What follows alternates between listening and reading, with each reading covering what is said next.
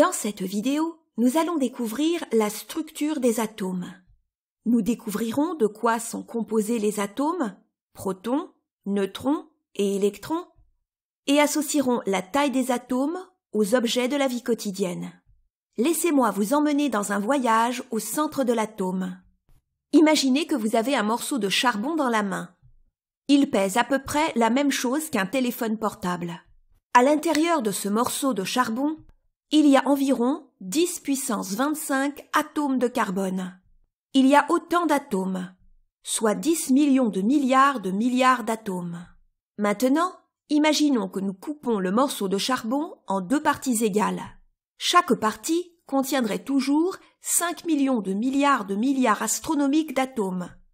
Donc, vous coupez et vous coupez et vous continuez à couper. Si vous avez l'équipement le plus incroyable sur Terre, vous aurez finalement deux atomes. Et avec une coupe finale, vous aurez un seul atome. Maintenant, devinez combien de fois il faudrait couper le morceau de charbon en deux pour obtenir un seul atome.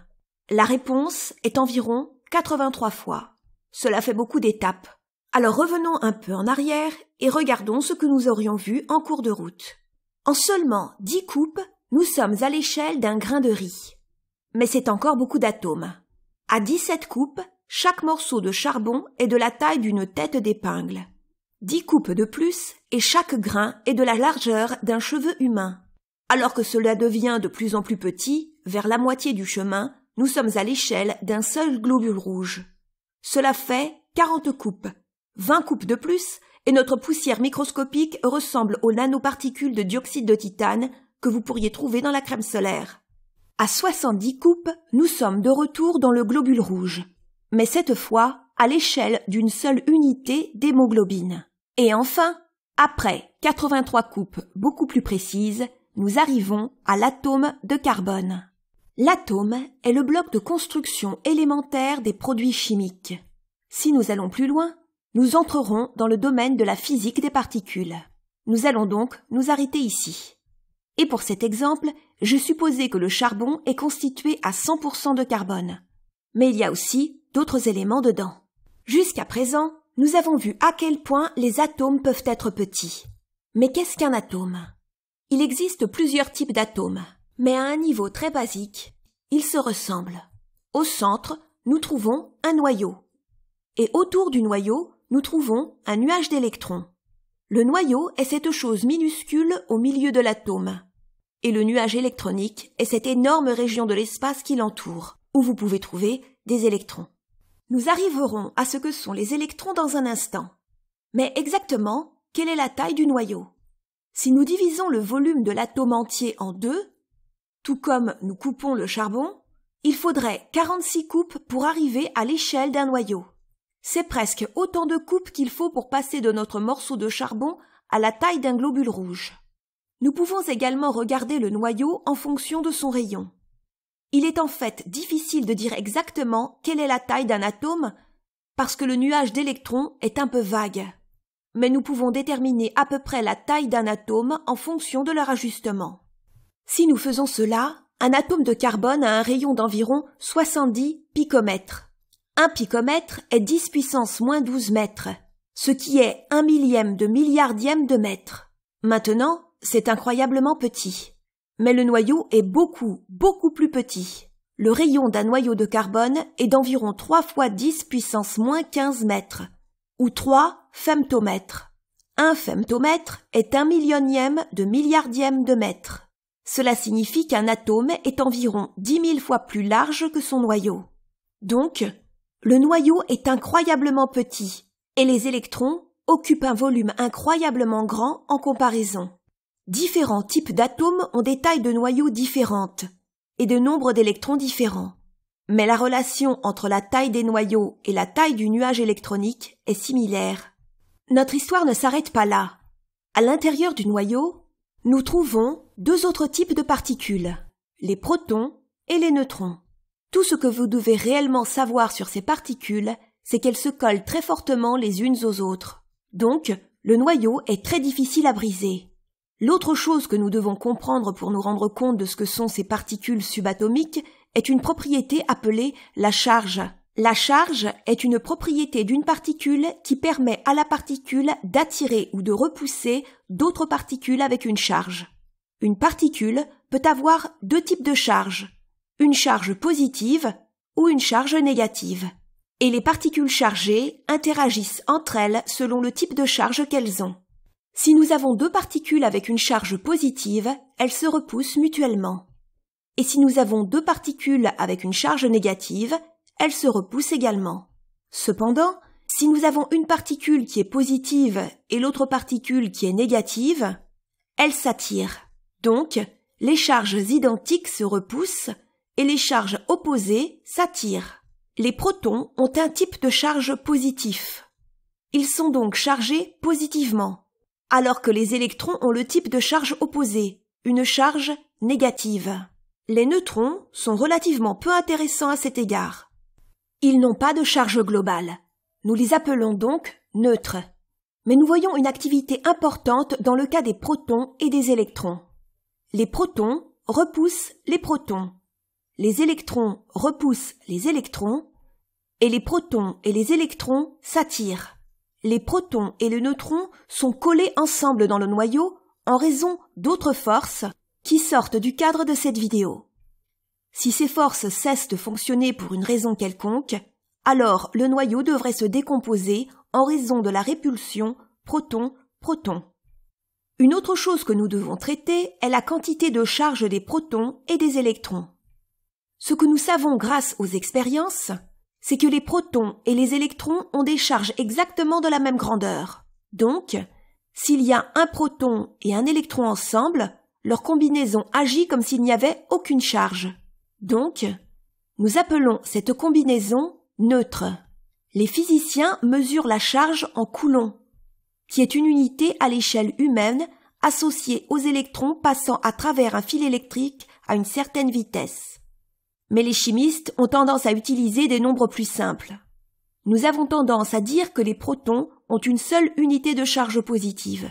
Nous disons donc que la charge est un plus les électrons ont exactement la même grandeur de charge, simplement négative. Donc, les électrons ont une charge de 1 moins. Les neutrons, sans charge, sont censés avoir une charge de 0. La charge n'est qu'une propriété qu'une particule peut avoir. Mais les particules peuvent aussi avoir une masse. Si une particule a une masse, elle peut ressentir la force de gravité. Donc, elle peut avoir un poids. La gravité est ce qui nous retient sur la Terre. Si nous utilisons des kilogrammes, la masse des protons, des neutrons et des électrons devient un peu stupide. Nous pouvons donc utiliser à la place des unités de masse atomique unifiées. Une unité de masse atomique unifiée est le douzième de la masse d'un atome de carbone 12, avec six protons, six neutrons et six électrons. Un atome de carbone comme celui-ci a une masse de 12 unités de masse atomique unifiée. Un seul proton a une masse d'environ une unité de masse atomique unifiée. Et un neutron a également une masse d'environ une unité de masse atomique unifiée.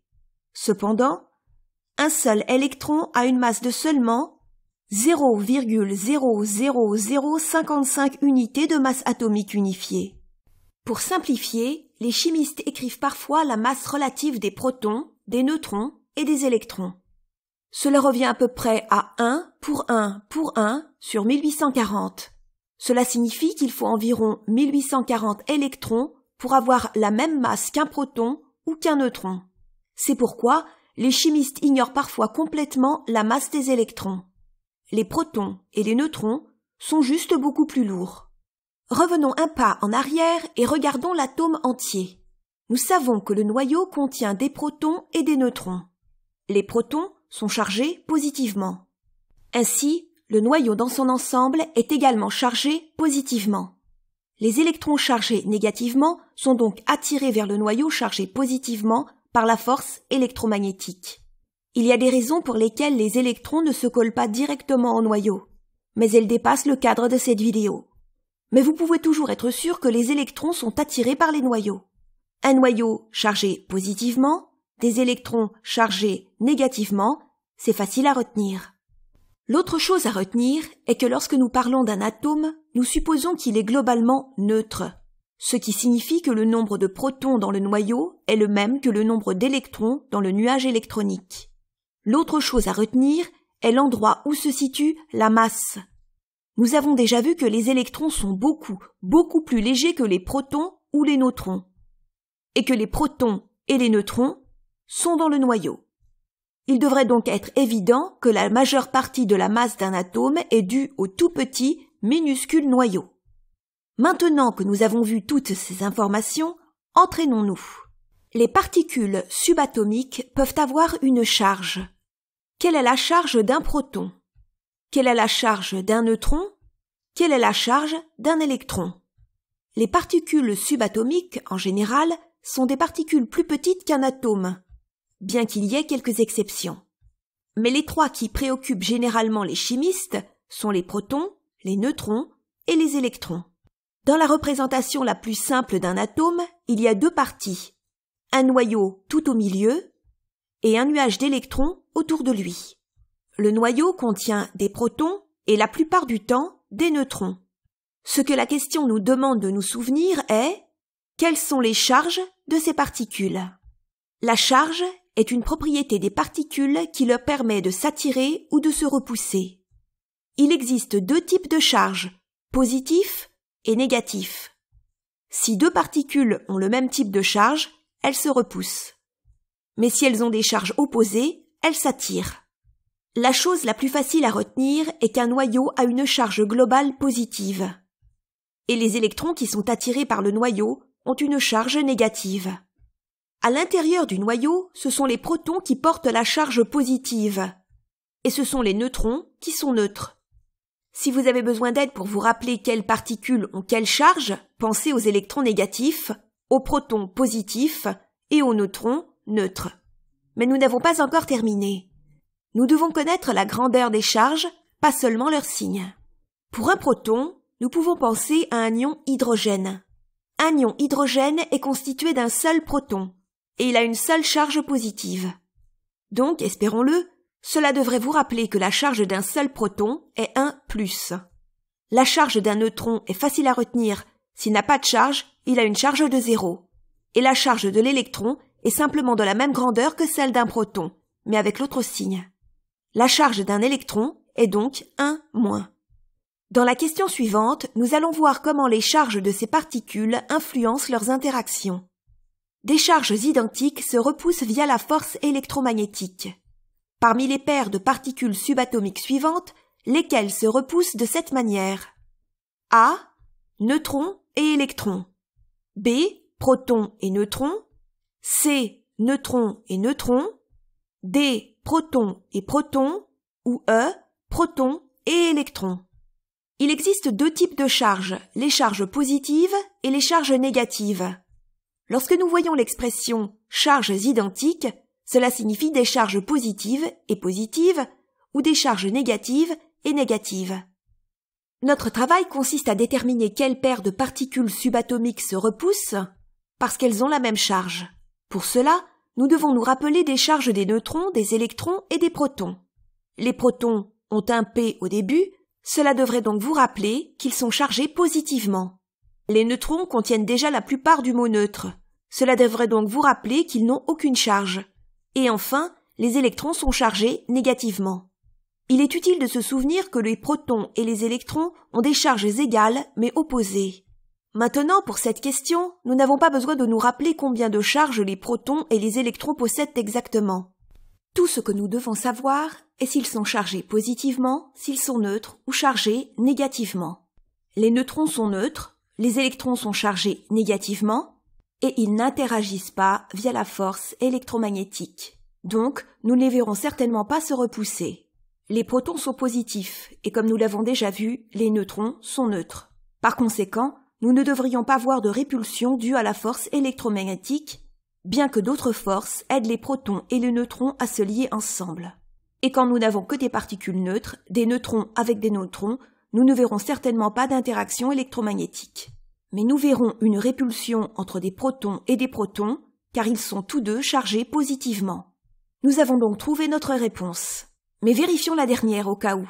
Les protons sont chargés positivement, les électrons sont chargés négativement.